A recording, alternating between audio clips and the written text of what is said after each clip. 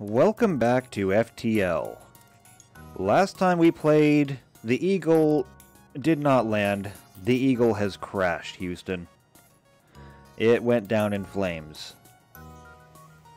We came up against a rebellion ship and there was no even there, there was no contest there. It was just over. But I was worried about that in that game because we had made it pretty far and we just didn't quite have the firepower to to make anything work. We had great defense, but you can only defend for so long. And so here we are on a new journey. So I didn't get any answers as to what we should try next time. So what we're going to do is this. I happen to be a big fan of Dungeons and Dragons and Pathfinder, and I have a whole collection of dice. So guess what? We're going to roll a dice. Or I'm going to throw a dice across the table. That's how that's going to work. So, just random chance, we're going to roll a dice. It'll be a d10 since we have 10 variants here, discounting the 6 because we don't have that one yet. Someday. Someday we'll get it. So, rolling 1d10 now. That is a 7. So, 1, 2, 3, 4, 5, 6, 7. We're taking the Rock Cruiser.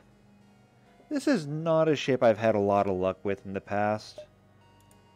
And I think that's obvious because I don't even have a variant of it yet. It comes by default with just missile launchers, which I absolutely hate. Because if you run out of ammo, then you have absolutely nothing. All in all, it's not a bad ship, though. Um, rock people are immune to fire. So if there is any fires, you don't necessarily need to worry about venting the entire ship just to get under control. You can send somebody in to to take care of that. So without anything else to really go over, we can leave the name the same. You don't actually ever see the name inside the game anyway. We have Jax, Aowen, and Nicola. Sounds good to me. Let's go. So we're carrying data vital to the Federation fleet. We've seen this before. Let's look at our first system. And it's pretty typical. No nebulas.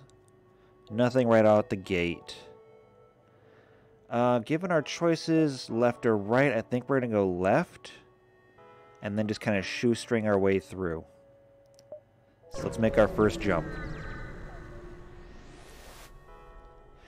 You find a rebel automated scout floating near this beacon. Despite its pristine condition, it appears deactivated. Uh, we could attempt to download the ship's data stores. Honestly, I don't care that much. Just scrap it. We need the scrap more.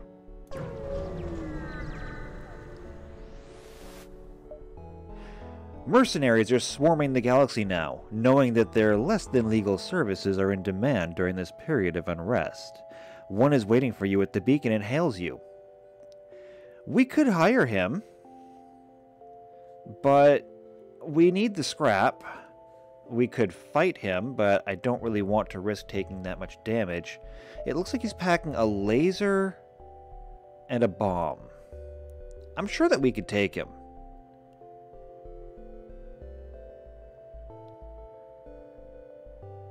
You know, let's try it. The more scrap we get in the beginning, it'll be easier to do the upgrades compared to later on when things are going to be harder to fight. Alright. Mercenaries are worse than rebels. The only honorable course is to engage a mercenary in battle. Alright, so we have two weapons here. We have an Artemis launcher that we're familiar with. We also have a hull missile. Now, the funny thing about hull weapons, there's hull lasers, hull missiles, hull beams. If you target a room that has nothing else in it, it does twice the damage. The downside, of course, is that you're not actually knocking anything offline. So, he has two, four, seven hit points. We could technically knock him out in two shots if we target right there.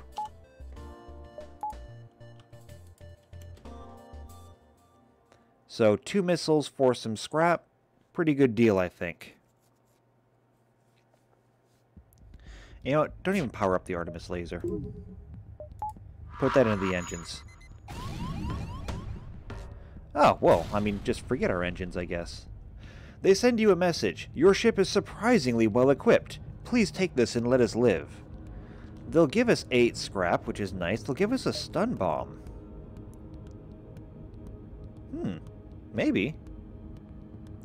Yeah, they're going to give us two missiles and we already spent one. We come out of this ahead.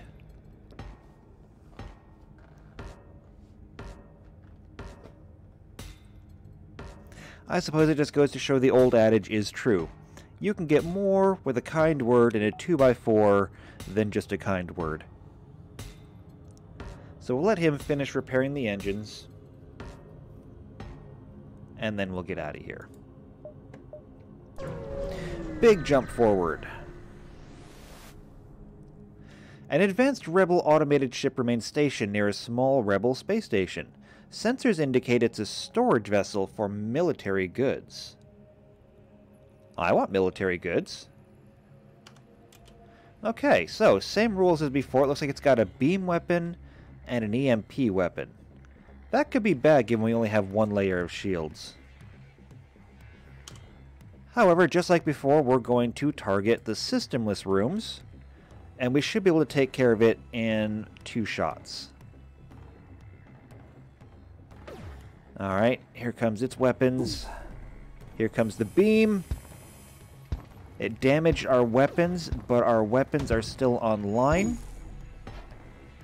And we missed it! Okay, there goes the oxygen. We need that. We're only rocky on the outside. We're squishy on the inside. Okay, there's one hit.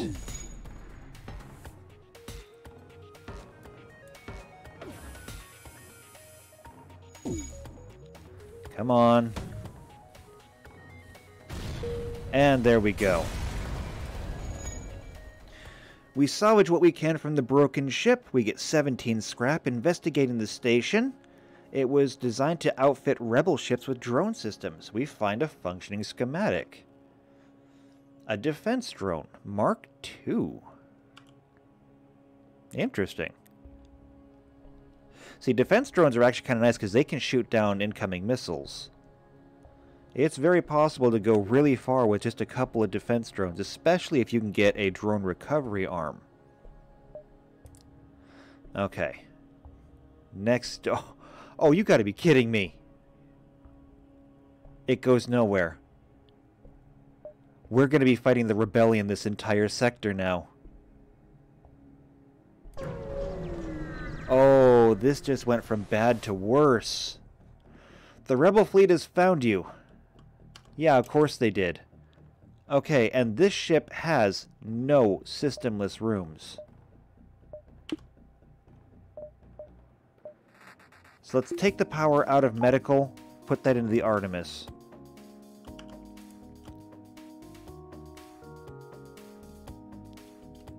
Okay, target everything that we can. Oh, this is bad.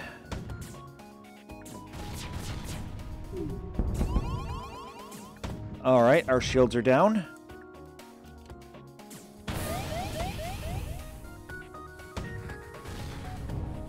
And now he wants to fight us. Okay. So we have no shields. We're we have a hull breach. Uh, shields are down even further. Engines are damaged.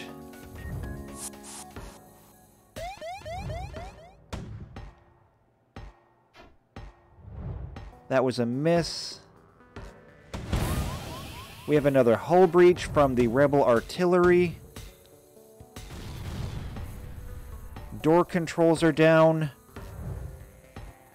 Because of one wrong move, we are going to lose this game before we even started.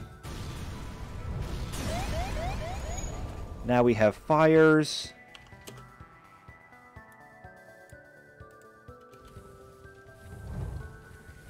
Get the fire under control.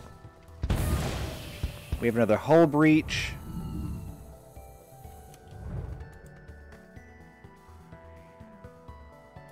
Actually, you two are in good health. Go get that online. You go fix the doors.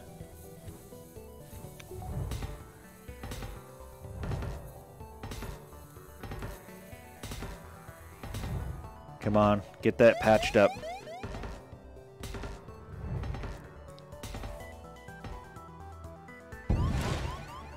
Another hull breach. Power down the weapons, power on medical. Get in here.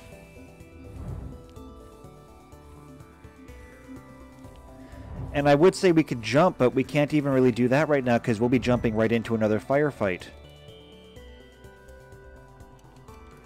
Okay, you guys go go repair.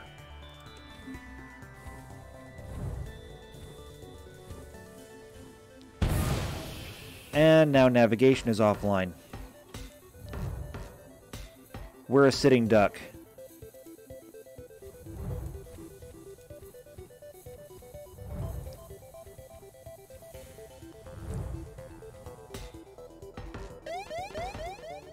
Alright, here comes another one. And our ship is gone. We only made it two jumps. I feel that wasn't even fair. I mean, that really was not even the slightest bit fair. Alright, well, given how short that was, I think we can get in one more. So let's try this again. 1d10. That's an 8. That is the Slug Cruiser. We didn't see a lot of these the last time we went through. The Slug tend to live in the uh, in the nebulas because they're all psychic. They can automatically see other living creatures even without sensors, which is why their ships don't tend to have any. And we do have two variants here. So, we'll go evens and odds. Evens will be the A, odds will be the B. That's a 10. Evens. We're going to stay with this. So, Junpeng and Sem. We have an anti-bio beam, which doesn't do us a lot of good, as, since beams don't go through shields. We'll have to use the dual lasers to punch through their shields and knock out their shield systems. And then we can use the anti-bio beam to just sweep through and kill people. Because that's the real um, strategy with the slug cruiser, is you want to just kill off the crew, which you can see because they're telepathic. Alright, let's go. First jump is a store. That's going to do us a lot of good.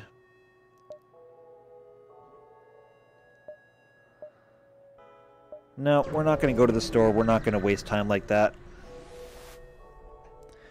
Uh, we jump to a completely unremarkable binary star system. There is nothing else around. That's fantastic. Um, I also want those charged. Jump again.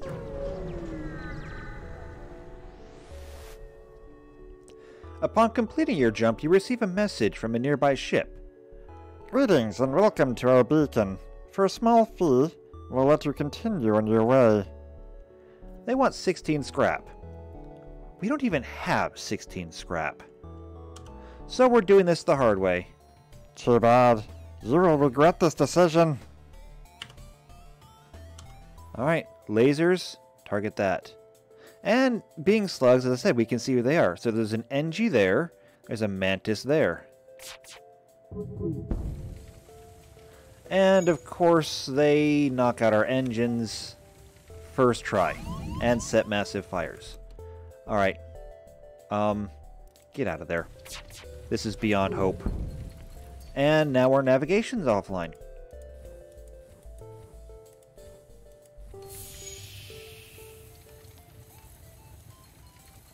Get yourself healed up. Now our shields are offline. I'm, I'm starting to feel a little bit attacked here. This is not even remotely fair. Engines are further damaged.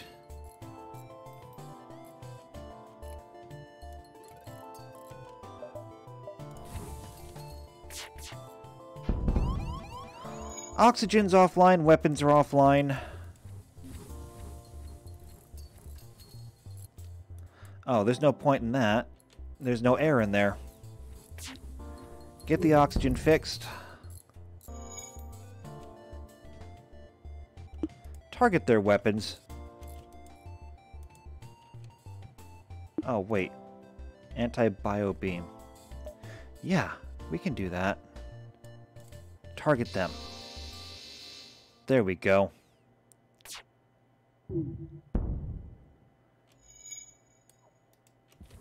Go get navigation back online.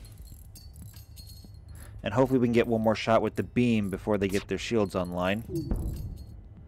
Oxygen's back is broken again.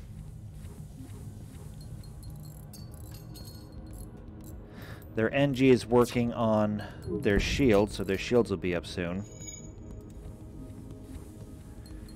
Get our weapons online. There are no more life signs remaining on the ship. You strip it of useful materials. Yay. We're already down to half health on our first jump. Subsystems are down all over the place. I mean, after losing our rock ship on turn 2, or turn 3, whichever it was, this is just depressing. I mean, talk about being outclassed in every way.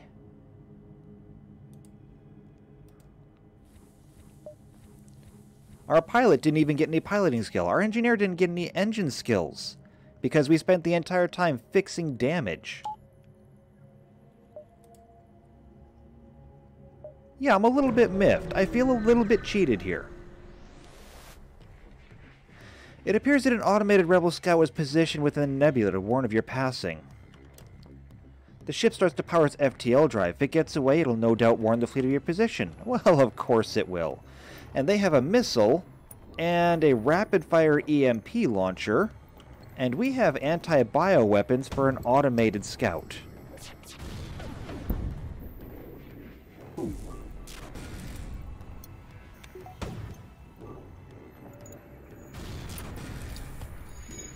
Oh, there goes our door systems.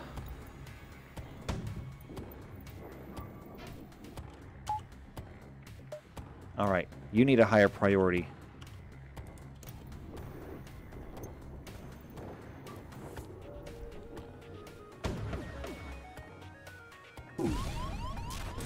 Well, there goes the weapons.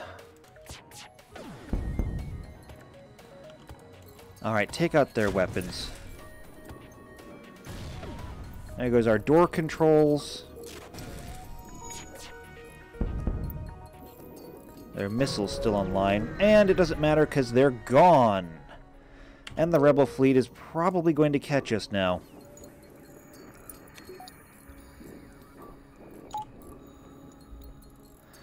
Make what repairs you can. I do not see us getting to the other side of this sector.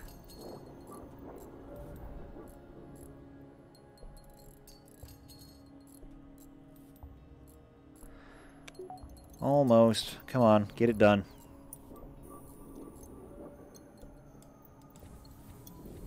Alright, get back in the engines. Thankfully we were in the nebula, so doubling their jump doesn't actually go that far. You arrive in the middle of a plasma storm. Despite the harsh conditions, a Rebel scout ship seems to be waiting for you. So, we have only half of our power. We have no life support, only one weapon, no shields, and the Rebel ship looks like it's completely armed to the teeth.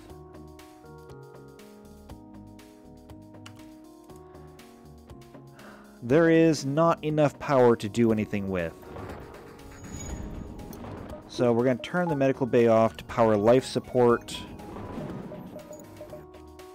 Um, we'll power the engines fully, since we can't get the shields online. Yeah, shields are now damaged. As if it hardly matters.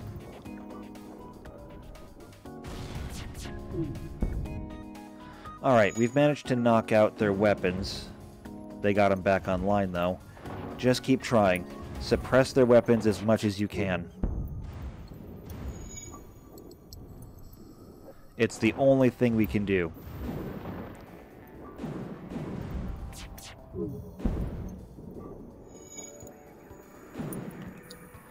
Target their cockpit. Let's see if we can take out their evasion hurt their crew. Yeah, we can. Of course, now we're going to take a missile attack. Alright, just keep knocking out their weapons. Keep them suppressed as much as you can. Now, shields are gone completely. Please don't kill us. We'll give you everything we have. You know what? I really have nothing to lose at this point. I have been abused here since jump number one. I really don't care whether we live or die here, and I don't care if we take you out with us.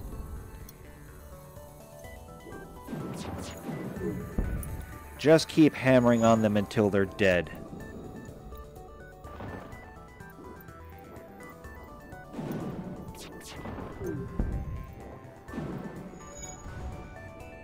This is what you deserve.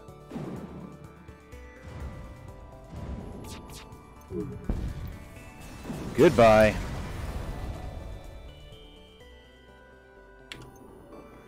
If you didn't want to die, perhaps you should have thought of that before you decided to attack me.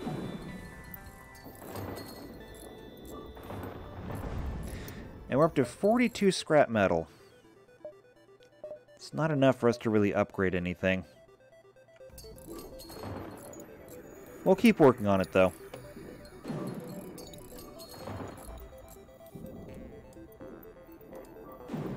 Okay. I need to save your, your positions next time. Okay. Save positions. And let's jump. We're going to stick to the nebula. A black market weapons trader spins you a tale of the dangers of the nebula before pushing his wares. We could purchase an unknown weapon for 45 scrap, if only we had 45 scrap. It's a shame, I wish we could afford it. We'll ignore him for now. He's not bothering us.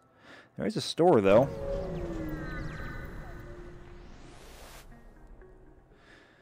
A ship engineer has set up a small shop. That's good.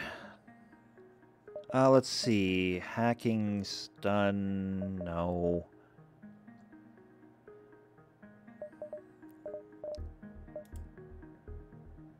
Drone control, which would be kind of cool, but mm, without a drone control arm, it's kind of useless. I don't see anything here that we can really use. We can't afford any additional crew members, so We'll fix our damage. We're not getting any upgrades anytime soon. Next jump.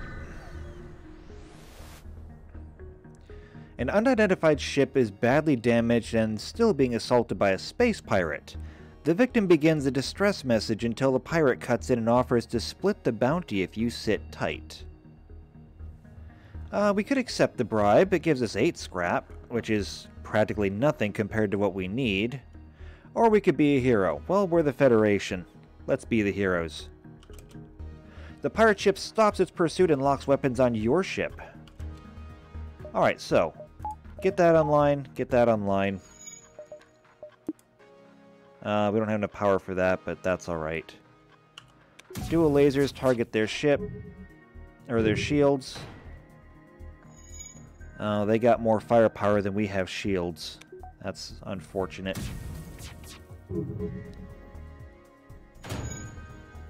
Weapons are damaged. Go fix that.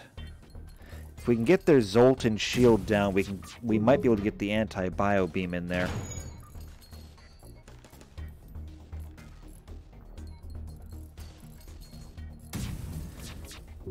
However, that flak cannon of theirs is going to screw us. Go get the life support back online. Alright, we got their shield down. Target their weapons. Get them to knock that off.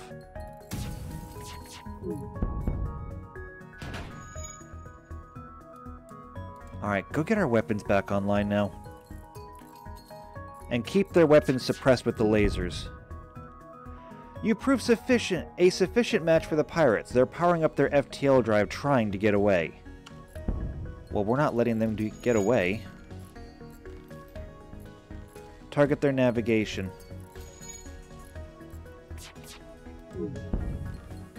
Get doors online.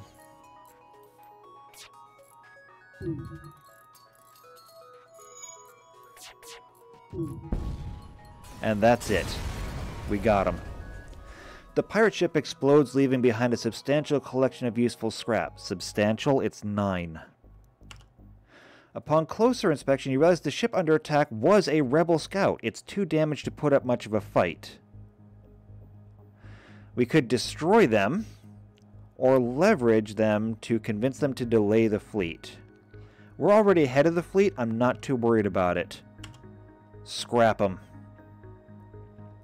You strip the ship of anything useful and leave its crew to hope help arrives. Well, if it were up to me, I would have taken away their life support too. Finish with that, please, so that you can both go and repair the med bay. Everywhere we have turned so far, it has been nothing but people trying to kill us.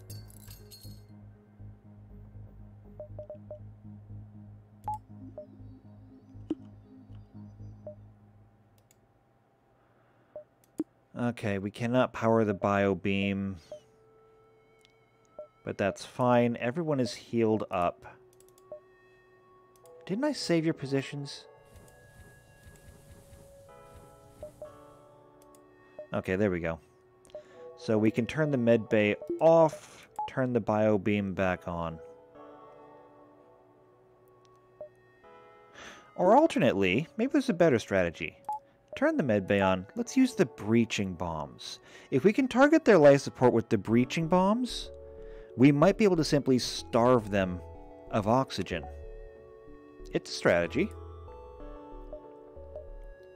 A distress signal.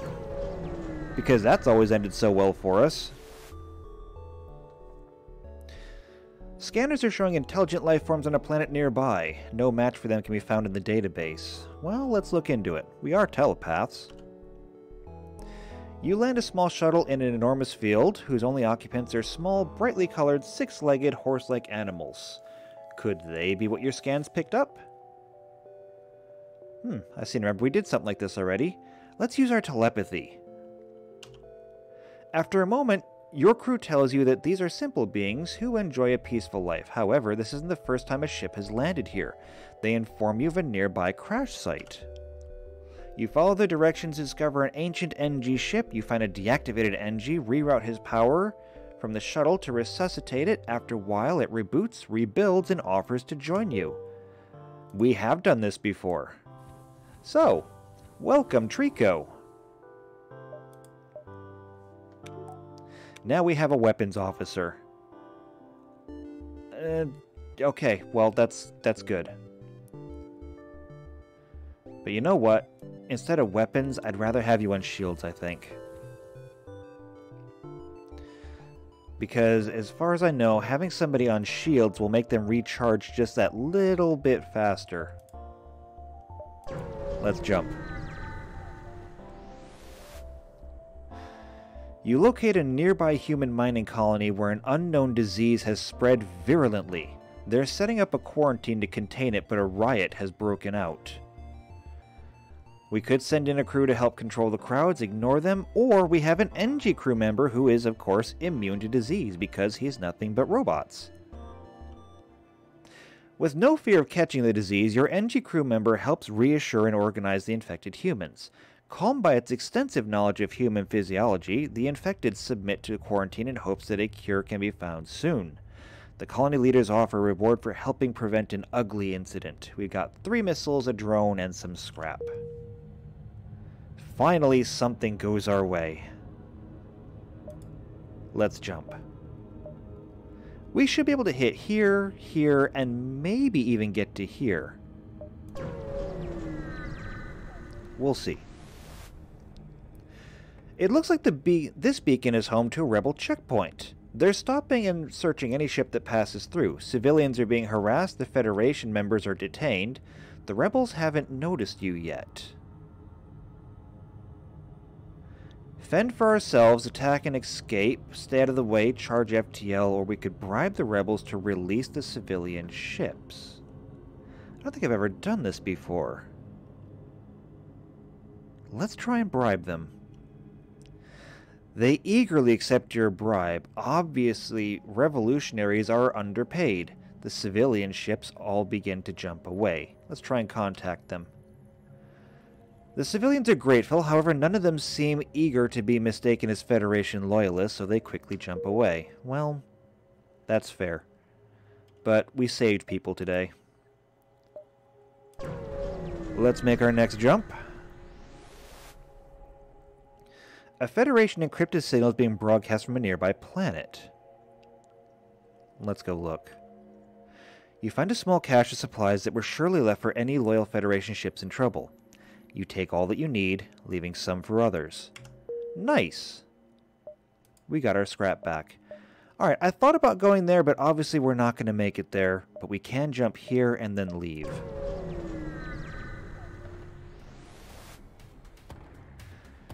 Your ship is hailed. This is an automated message. Resisting our takeover is pointless. Prepare to die. It appears this rebel ship is run by an AI. Of course it is, and it's got a drone. No, it's not a drone. It's a hacking material. Alright, so... Breaching does some system damage. We're to have the breach bomb target their weapons. The lasers target their bridge. And they targeted our bridge, so now we can't dodge anything. That's not good. Alright, their weapons are damaged. Let's, uh, let's stop using that. Um, since they can't dodge, target their shields. Huh, their shields are tougher than I expected.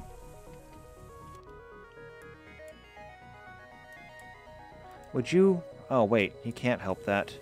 Because that room is hacked.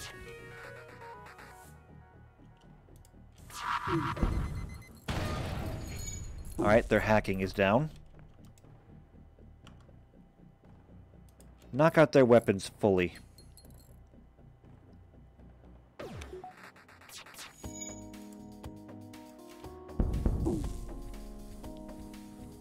Alright, weapons are down, bridge is down, hacking's down, take out their shields.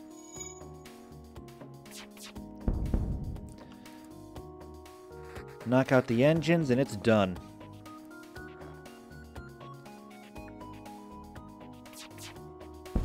Goodbye.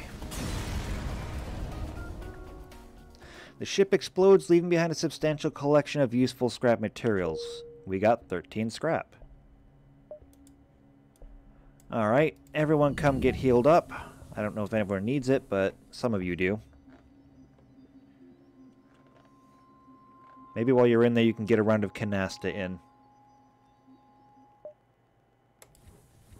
Alright, back to your stations. Let's jump. To the exit. You arrived at the long-range beacon. When the FTL drive is charged, you can jump. You see a civilian space station with heavy damage. You receive a message. We've been hit hard by the war. We need more drone parts to speed up our repairs. We'll buy some from you, if you have extra. Well, we are one shy of getting 24 scrap, but we can definitely let them have three. We're not using them. Alright, so 62 scrap. It would take 50 to upgrade our shields, and we'd have nothing for the reactor. So we can't upgrade that yet. Maybe soon, though. Next sector. So looking at the map, we have a lot of options. We can go almost any way through this. Now, interestingly for us, being slugs, going through nebulas is actually kind of a benefit for us. We're not affected by them. So when I'm looking at this entire map, I think we go through the civilian sector, because forget the Zoltan, that's never worked for us. We hit the nebula, go through the civilians, more civilians, more civilians. We hit this last nebula, and then we can go right to the end. We use the nebulas to our advantage. Let's make the next jump. Welcome to a new sector. Get to the exit beacon and jump to the next sector before the pursuing rebels can catch you. Well, of course. So what are we walking into? There's a store right there. We're going there. And then a big nebula that we could just kind of shoestring our way through before we head on to the exit. The more time we spend in this nebula, the less the uh, rebels can catch up to us, and we can hit every single one of these points without them gaining hardly anything. By the time we come out of this nebula, they'll have no clue we were even here. This might be the run we've been looking for. But we'll see how this goes next time when we come back to FTL. Take care.